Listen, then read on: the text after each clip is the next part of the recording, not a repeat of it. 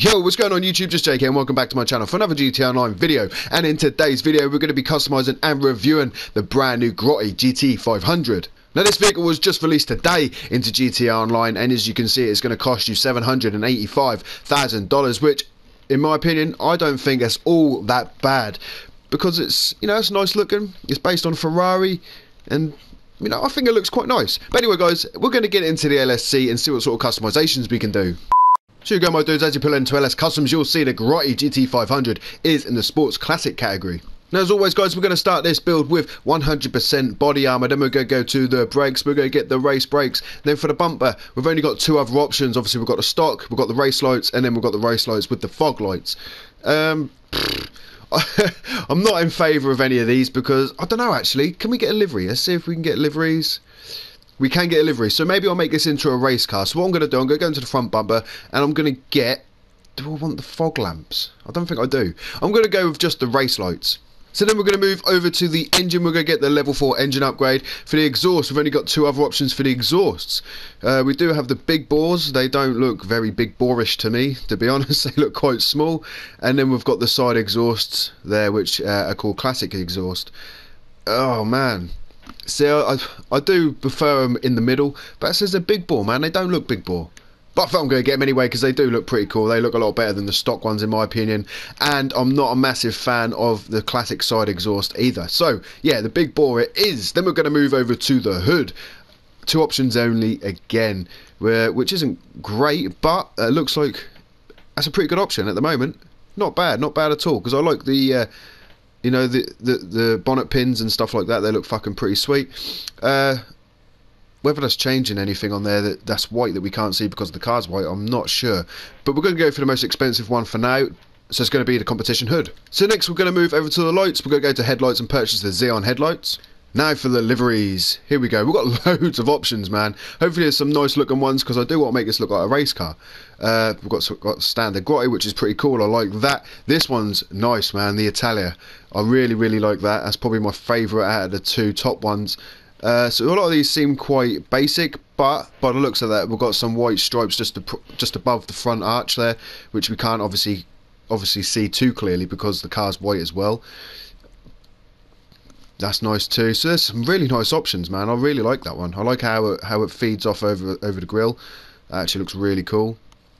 Uh, actually suits the white the whiteness of the car as well. So that that livery of the white car actually looks really good. That one looks. I'm, I'm really impressed with all these liveries, man. I'm actually quite happy with the way all of them look.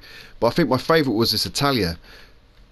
But I wanted the car to be red, which was um, which is obviously something we can't really do if we've got a red stripe down it. So maybe we'll go for one of these. Maybe that one. That one looks pretty cool. Yeah, yeah, why the fuck not? Let's go with the side stripes for now. So then we're going to go over to the respray. I'm going to go primary colour and into classic because I've got a livery. And when you've got a livery, if you go metallic, it kind of puts a weird shine on top of the livery, which I don't like. And so I'm going to go classic. And like I've already said, I'm actually really feeling a red for this car. Um, so I think I'm going to go with Formula Red. And because there is no secondary colour option for this car, we're going to go straight to the suspension. We're going to get the sport suspension, then we've got the transmission, we're going to get race transmission and also turbo tuning.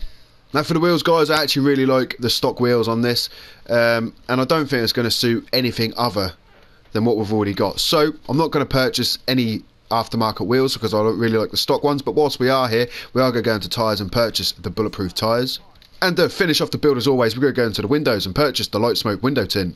So you go my bros, there is my build on the Grotti GT500 which was just released with the Doomsday Heist DLC. Now this vehicle looks fucking awesome. I really like the way it looks. I think the livery actually suits it really nicely. The fact that I actually wanted to make a race car out of this says something.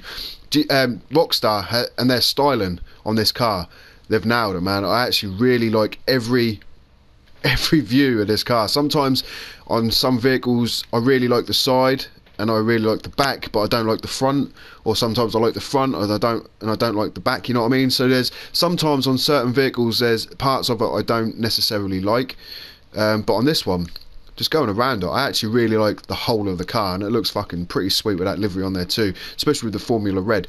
Now um, according to Broughy this car isn't very good uh, especially in the sports classic class, it only comes 17th around a track and 19th in uh, the top speed. So if you want it for racing, think again. Probably buy something different because it's not going to be all that great. Even though they've Rockstar have made it look or made you so give you the option to make it look like a race car, it's not actually going to be that good uh, in races. But if you just want to, you know, just to drive around the streets, it's not overly expensive. Yes, it is expensive because it is almost eight hundred thousand dollars.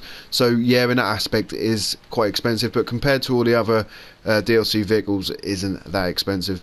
But um, I don't know if I'd want to be paying that sort of money just to drive it around free mode but it's cool, man. It looks nice. It actually sounds really, really nice. Uh, the customizations lack a little bit, but it is a sports classic car, and you you can't really expect too much in the way of customization.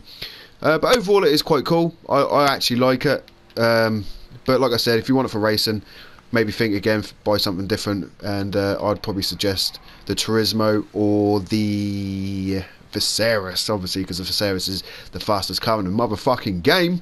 But anyway, guys, that's going to be the end of the video. Hope you guys did enjoy. If you did, please smash the motherfucking like. And if you haven't already, want to subscribe to my YouTube channel for more GTA 5 content. And until next time, guys, I'm out. Adios.